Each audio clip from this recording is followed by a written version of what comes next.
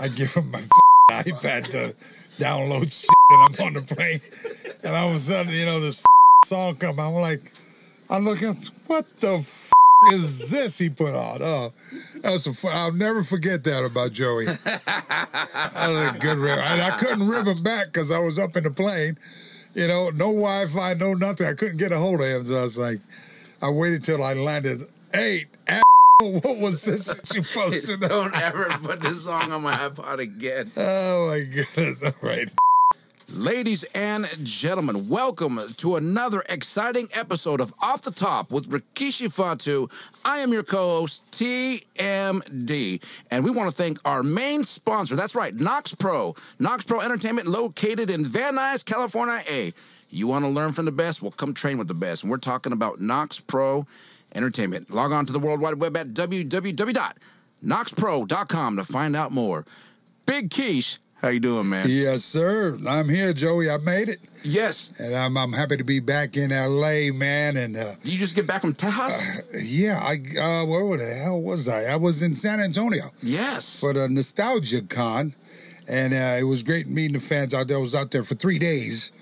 And uh, you know, I, I man, I dropped the ball. I had no idea that Sunday was Mother's Day. Oh, I know it, but I made it back in time, and you know, send the wife some flowers, you know, unexpectedly. You know what I mean? And uh, yeah, so I made it home, and I'm well rested, man. oh, good, good. Um, let me ask you, while you're out there in Texas. um, Funko Pops, I'm sure were flowing like a river. Yeah. How about the Sultan figure? Were there any Sultan figures out there? A lot there? of fans came out with the Sultan figures, Nice. man. Uh, you know, we uh, did pretty good, pretty good amount of Sultan signed out there. Uh, you know, according to their stories, they're saying that the fans are saying this is one of the best action figures of myself out there. So you know, they they did a great job with WWE and was on there. Mattel, you know, you get them exclusive at uh, at the Target. So they did a real good job. It makes me happy when I hear my fans like you know you know tell me about the the details and what they thought about the action figure. that figure is also available at rikishifatu.com. Yes, sir. And it comes signed. Comes signed and free delivery on top of that. I, I might just throw in a, you know, I care about my fans. I Yes, might sir. just throw in Yes, a sir. extra eight by ten signed personally. So, yeah, we'll make sure you guys stop by and check it out. You know, Rikishifatu.com. There's the plug. There it is. So, uh, you Yeah. know, there, uh, of course, as always, there's a lot to talk about. And first off, um, I uh, saw a, a message out there on the internet. Um, you were on the radio. You were on. You were on uh, satellite radio. You were on Rock the Bells. DJ Epps. Shout out to DJ Epps uh, for, for first of all uh, playing you on the on the radio. So wrestling aside, Yeah. Ha- Hall of Famer set to the side. Yeah. Did you ever think you'd your voice would be out on the radio rapping? I know, hell to the no. Um, you know, big shout out to DJ Epps. So, Yeah. You know what? It's uh, uh, you know, when I got the message, it was one of the students from Knox Pro, uh, OG Bear. You know, he sent it to me Devious uh, yeah, on the feed there, Hmm. and you know, I, I had no idea. Like I'm trying to, uh, but I can hear him. He was so excited, you know, that that I made it onto, and I'm over there. I, I do follow Rock the Bells, LL Cool J's uh, station on on uh, Instagram. Wow. But you know, I was just trying to hear what he was saying, and you know, Bear was just so excited that the song his trainer was, you know, his mentor was on the radio of hip hop of Rock the Bells, and uh, you know, I'm, I'm, I'm grateful. You know, the only thing I can say is, you know, I'm thankful and I'm grateful. You know, big shout out to my team. You know, Frankie and, and the crew backstage, and you know, for making this uh, this magic happen. As far as uh, you know, my love for hip hop, and you know what, we we working, we working in the lab. By the time I get home on Tuesdays, you know, I come in five thirty before the show starts, uh, before we record our show and so forth, and then you know, I'm I'm we try to knock out at least uh, two to you know one to two tracks, and but yes, man, uh, uh, you know, I'm just hey, what can I say, man? I'm just honored to. You know, to have our work be played uh, out throughout the whole world. You, well, you know what? Um, when I first heard that you were on the radio, Yeah. I was, uh, of course, proud because obviously your platform is from all the hard work you put in the ring. So Thank you. the name, your likeness, everything about you was because of all the hard work you put in the ring. And that's what got you onto the radio. And you know what? So for, for me, man, I, I'm I'm proud of you as a student. Um, uh, you know, just to just to hear your you on Sirius because that's satellite. Yeah. Everybody has it. You know what I mean? That's not like you're the, you know, I, I don't even think it hit me yet. You know, and you know, it's I don't I don't do this for any clout. you know what I mean? At the end of the day, it's Uh-huh. like you know I got to stand by behind my words of what I'm teaching you kids. Yes, you sir. know, don't be afraid to to jump in and try different things. But I'm not a rapper, professional rapper by no means. But I do love hip hop. yes, sir. And so, you know, being with the creative uh, crew behind the scenes, you know, my producer of, uh, you know, Frankie, you know, we, we we put it down. And then I got my man Michael, you know, we we working on another banger. It, it just, as long as we can put out uh, beautiful music and, uh, you know, music that's, uh, that was uh, close to me. Like, you know, these certain, every track you hear, you know, the sample beats are something that meant to me. It helped me. So it's my way of paying homage uh, to those that, you know, that uh, put out that track, you know, back in the day when I was listening. So thank you, man. I, you know, I, I hope that what I'm doing can, uh, you know, uh, you guys can take a page out of it. You know what I mean? Don't, if you're an actor, don't don't be afraid to jump into music because everybody sings. You know, we I'm I'm a shower singer. You know, I'm I'm a big fan of of Barry White. you know, I just feel like I got that voice because I know I talk Barry White when I'm, Yeah. you know, when yeah. I'm talking Mm, to my. But that's another story. That's right. You know, and, and so eh, who, who's to say? You know, Kishi might be putting out an album like you know, um, like a love album for the ladies or something. You know, I just big fan of uh, Teddy Pendergrass. That's right. You know what I mean? TKO. I love TKO. Uh, you know Barry White. I mean, Mm-hmm. you know uh, uh, uh, Uncle Charlie. So you're saying on your album that's going to be coming out, uh, fans can expect to hear different varieties of music. Yeah, most definitely. You know, again, these uh, when you hear the music Mm-hmm. on the beat of the music, the Uh-huh. sampling, you're gonna know that's personal to me. Yeah. There's a meaning behind that, and you know, uh, I plan to shoot a lot of like backstage, uh, you know, video after the album to be connected onto the CD. Mm-hmm. Uh, this way, you know, I, I want the fans to have something uh, that's uh, you know they can take with them.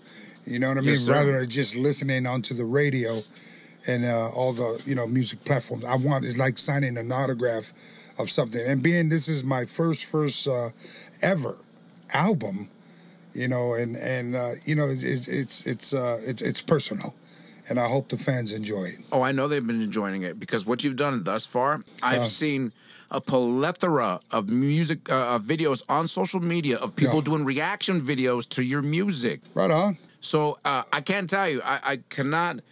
Ay, ay, ay. I cannot Yeah. even uh, count how many videos I have seen of people reacting to your music Right. um, and and different areas of the world too. So Right so what you're doing is landing out there uh, within the world, not only professional wrestling, but of mu- in music. and music. All right, come on with a big yeet for that one.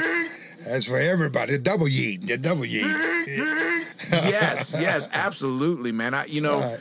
that that is just uh to to me um uh, bananas. But I'm I'm just Yeah. so proud uh, to see all this good stuff happening. you, man. Because you know what? No, honestly, because you deserve it, and it's another lesson to people out there. Whether you're a professional wrestler, whether what, no matter what you're doing in your life, hard work pays off. Because this man, just by knowing this man. He, he's took no short no shortcuts. He didn't cut no corners. He absolutely put in the work and and and, and it transcended into a whole other industry, a whole other Uh. industry where you ain't got to take no bumps and you get to live out some of your passions. And I know you love hip hop because I've loaded your iPod your iPod with music back in the days, and I know that you don't like no Archies. Uh, honey, honey, bum, bum, bum. Boy, if I can only get to you back when I was up in the plane, 30,000 feet up in the, in the air, and I was like listening. It went from Tupac to Biggie, and then all of a sudden, Archie, honey, mm-hmm, honey. Mm-hmm, I was like, mm-hmm. what in the hell did you.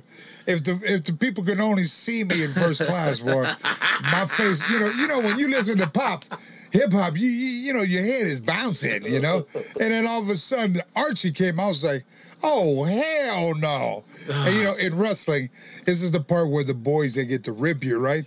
And I said, Joey, Joey got me. He No. waits. Till, he wait till I get home, No. boy. He got me. But that's funny that I made you hot at uh, 30,000 feet in the air uh, is mind boggling to me. But you know what? Um, Drink Master, how we doing over there, baby cakes? Oh man, he- he's like just uh, he, he's like just dissecting stuff over there, man.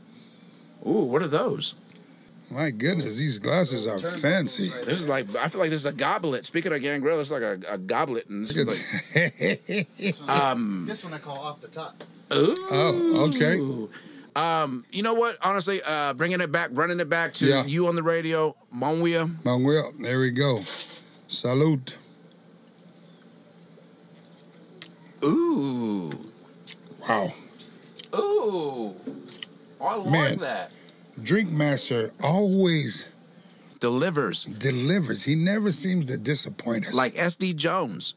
SD Jones delivery. Damn, man, that that was really listen. good. That was really good. Wow. That's- and and the presentation of the glass too looks It's like pretty, blood red, Looks pretty good. like the bloodline. Yeah, I know. Gangrel. yeah, I'm about ready to spit this out in somebody. Okay, okay. So, man, Yeah. we're, we're gonna bring it to, uh, uh, uh of course, uh, SmackDown. What's going on now? Uh, I, I want to say this is one of Tama Tonga's first uh, singles matches on television. Okay. and he, of course he got the victory um, and he looked pretty damn impressive he defeated uh, angelo dawkins and uh, he looked really impressive out comes uh, of course your son uh, solo Sikoa he ran interference and Tama was able to capitalize on that and he got his first win but it wasn't until after that what, what really stuck out to me is when Paul Heyman, you know, when everyone's doing the the one up, Paul Right. Heyman's in the back, and then your son Solo, you know, he's dead center, and then he looks back to see Paul Heyman and what what he's doing, Right. and, and then and then Paul Heyman, oh no, no I'm, I'm throwing up the, it- that was one of the most funniest moments I've seen in wrestling in a long time, but it also brings up a great question: What is the uh, the distrust that um, is brewing right now? What what reason would uh, Solo have to not trust uh, the wise man Paul Heyman right now? As a wise man. yes, sir. Go back and do the history. Go do the research on the wise man. You know, as of now, you you know, I really don't trust none of them. You know, I mean, Solo's got the wise man's got, he's got his tribal chief. I can almost, you know, I can almost tell you that, you know, Solo is not an he's not an idiot.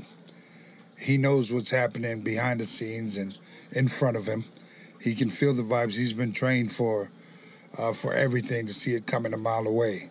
And so at the end of the day, it's I think it's uh, you know to to be able to see those type of actions, you know, amongst himself from Solo to uh, to um, Paul Heyman, it, it makes for it makes for uh, a good a good uh, hang around and see.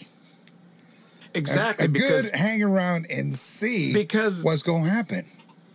Because, You know? Yes, because you know what? Because if they do get rid of Paul Heyman, Uh, what other wise men could be available? Well, I nah, that let's stop throwing that in there. No, I mean I get it. You know, probably wouldn't make sense, but you know, it, it, yeah.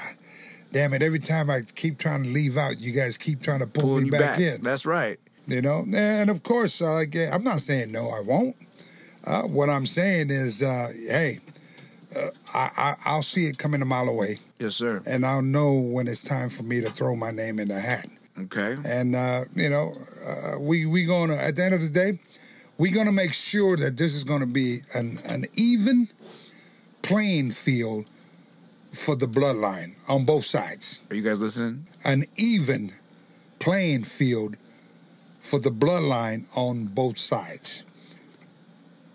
So take it for what it's uh, for what it's worth. Uh, let's let's just see what happens for the future as the you know uh, you know Raw and SmackDown continues to showcase uh, what's happening as far as in the bloodline and you know Yeet you know Jay Jey Uso man what what a what a hell of a run you know uh, yes, sir. uh, just caught a few of the you know the King of the Ring and so forth Third round. third round. Well, He's getting closer. He's And, getting closer. Man, uh, just to see the, for me, when I watch my my my son out there performing, Mm-hmm. or any of my boys, I'm always watching the reaction of the crowd. You know, and uh, right you know now. to see him out there just pretty much have the crowd in the palm of his hands. You know, you got all the fly bugs coming back. You know what I mean? People Uh, are, are saying they're hey. comparing it to Bray Wyatt's. Ain't that a trip? Uh, Bray Wyatt is one of my favorite wrestlers, right? And to see him, you know, his spirit in there, because when you there. see that, you know the friendship between the two. You know, that's that has to feel so amazing to know that my friend's spirit is around, and here I am to carry it on. You're not taking his place, but what he has, you know, uh, was remembered for as far as in the crowd, they would turn on their phones and lights, and now you have a friend that was dear to you is able to continue that on and and and make it in, you know, uh, make it the way that the fans receive it, you know. Yes, sir. So it's a, it's a beautiful thing, you know. Um, you know, I'm, I'm I'm so so proud of Jay. Uh, you know, Solo Sikoa. Uh, we got to see what his kid's mind is at. Right, right. And uh, speaking of the bloodline and speaking of the future, going forward, Tangaloa is now uh, referred to as Tangaloa. Oh, okay. Yeah. Um, what do you think? Uh, they they changed that. Uh, what do you? Th- why do you think the reason to? Why do you think they did that? Who, who knows? It could be, you know, uh, I don't know. Uh, you think ta- the, licensees? Uh, who who knows? But you know, like I said before, when I went to TNA, hey, the name changes, but the man remains the same.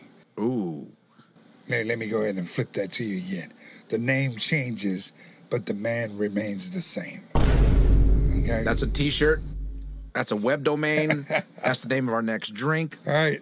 That Uh, is uh, something. And, and you only get that from experience, right? Yes, sir. And Over- so for me, like you, you can't. Those two uh, kids that are there, you know, Tom and his brother Tangaloa. Mm-hmm. You know, again, you know, they're, they're they're kids are family related as far as with Uncle Haku and so forth. And we, you know, you, you, these kids are. I couldn't wait for them to come to WWE. You know, they they done so much out there, the hard work and. You know, uh, you know, building their brand out there in Japan, New Japan And it was awesome to see them, you know, finally come home. You know, uh, the bloodline, the WWE is home, yes, sir. and uh, you know to be able to see them come and not, you know, just go right to, right into an angle. You know, they're only put there uh, for the simple fact that they belong there. Yes, sir. Nothing else, nothing more. There, you know, you got Roman that's out the picture now, Jimmy that's out the picture now, and now you, here comes, you know, Solo with you know his crew of the what they like to call the Bloodline 2.0, Wow. Yeah, yeah, yeah. and and you know the the, the two uh, the brothers Tama and uh, uh, Tangaloa, they're doing a great job. You know, they both look great. They look fresh. So nice to see fresh faces out there. Yes, sir. You know, what I mean, uh, being involved into the bloodline and and family at that. Yes, sir. Let's let's talk about the the uh, the the the most anticipated debut Yeah. in recent memory. Jacob Fatu, your nephew. We're talking about even playing fields. Where would you place him in the bloodline? Um, you know what? That's a, that's a good question, Joey. Um, I kind of see Jacob because of all the speculations of him jumping into the bloodline. I kind of see Jacob coming in alone. I see Jacob, be it SmackDown or Raw, just coming back into that old TV match, three minute, three minutes, annihilate people you know, just go to Raw, three minutes, annihilate people. So he's not really with the brand. Because if he stays stuck in the brands and they announce that he's with Raw, now you kind of already, okay, when is it he going to go with Jay?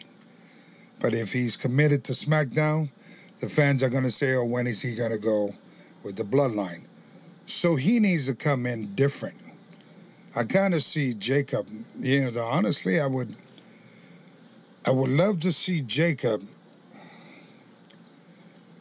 run through top talent roster on both sides. And then finally, when the time is right, that he would be involved into the bloodline, meaning going up against either The Rock or Roman Reigns or Solo Sikoa. You got to give that match to the. In order for people to get the best out of Jacob, Yes, sir. my feelings is Jacob needs to dance with family members because now his comfort level, you know, he can trust like, you know, Roman will take care of him as far as whatever, Jimmy. You know, there's there's not that much pressure. But when you're dancing with somebody else that you didn't grow up with and it's a name, now you got that in the back of your head. Is this guy here? Is he trying to take too much? Am I am I giving him too much, or is he just gonna you know he sees me being built up? Is he just gonna be a selfish wrestler and try to take me? Now, here's what I'm gonna say to people like that. In case they go that route, I'm gonna say to all the wrestlers out there: if you don't know my nephew Jacob, I'm gonna put it out there on blast. Listen, he was a street hustler, street fighter. And when I say in the hood or whoop your ass, you know, hardcore was Jacob before hardcore. And he's not afraid of anybody. It doesn't give a damn. Like once he snaps into where he feels like, okay, this guy here is not doing business, there's another side of Jacob that you don't want to see. I've seen that. Sir. And the most, on the flip side, he's the most funniest guy. he's the most humble guy. He the, he's the most, you know, guy that uh, take his shirt off his back to give to you. But this is the part here that you know I've uh, we've trained Jacob as far as uh, inside the square circle and outside the square circle. It's like sometimes people who you think is your friends in the back yeah. locker room, but once they get out there, they either have a, a brain fart and just start, you know, potatoing you and blah, blah, blah, and forgetting spots or whatever. And in the meantime, you know, you need to learn how to, you know, like you were always trained, to adapt to that. Yes, sir. And so, you know, I, I want, uh, hopefully WWE books Jacob accordingly. I've mentioned this before. To get the best out of this kid, you got to book him with the right people Yes, sir. because Jacob is a you know what a 240, 250, amazing. You know he it- moves like a lightweight. moves like a lightweight. I mean, he's believable in all this stuff that he does, and so you know he, he's uh, he's a cross from from his uh, father, the Tonga kid, and a beast like his uncle Umaga. Okay. You know, and uh, as you can see, like you know, he doesn't wear too much fancy stuff going on. I love that. I love just wearing just the tights that you got with your tribal, and just go. It's not. It's not a. It's not like for me to him. Like looking at him, it's not a fashion show for Jacob. Like you know, you don't need the fashion to be able to get him over. Just let him go out there and work. Yes, sir. Just let him go out to work and let him be himself. So You said it exactly. that's my right. take on Jacob. You know, good Yes, luck. sir. Yes, sir. Uh, by the way, Kavika sends his love. I was talking with him earlier. Talova Kavika. Big Yeah. shout out to the to the uh, vampire warrior himself, the one and only Gangrel. Yes, sir. We was talking earlier, and he told me to send his love. I love Um, he also sent me uh, a, a video that I was never aware of. Yeah. It's actually of Jim Cornette talking about um, your nephew Jacob Fatu, and he's talking about that if uh, if he he would come out of retirement to manage him. Yeah. Now, my my we were talking about where you would place him in the bloodline uh, or coming into the WWE his debut, and you said you'd have him uh, alone, which I think is uh, that is amazing. Um, but what if he had a manager? Not that he needs one, because we know that managers are are, are pretty much commonplace for re- for wrestlers who, who may may not be that great on the mic, but everybody knows that Jacob Fatu's mic skills are, are strong AF.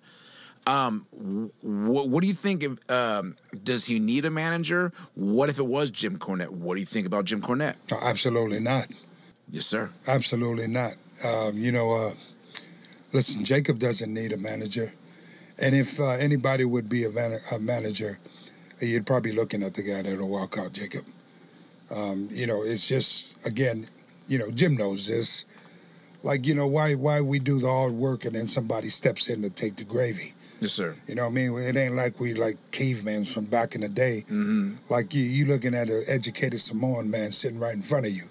And Yes, so, sir. you know, I know my ABCs. Mm-hmm. You know, it ain't but it ain't that easy for me to carry a racket if I wanted to.